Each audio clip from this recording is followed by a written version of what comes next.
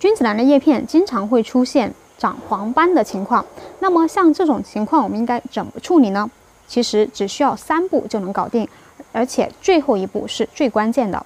那么我们首先第一步处理方法就是把这些黄斑给剪掉，尽量呢多剪一点，不要直接沿着边边剪，给它多剪一点。这样的话呢，才可以将一些病灶给它清除掉。第二步呢，就是给它脱盆，并且把一些烂根啊、空根等部位呢全部给它修剪掉。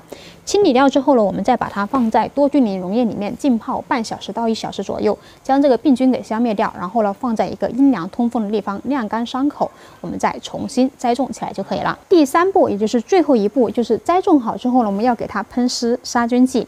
因为叶片呢，它有病菌感染，我们这个时候就可以用上这个好清闲苯甲吡唑酯这么个专对针对叶片病害的杀菌剂。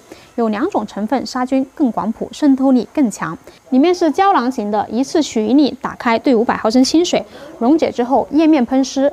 五到七天喷一次，连喷两到三次，基本上就能控制住了。为什么要做这三步呢？其实是因为君子兰它的叶片黄斑主要是因为土壤里面的病害造成的，所以我们就需要把它剪除病灶，换盆换土，然后呢再给它喷施杀菌剂，这样就能够基本上控制住了。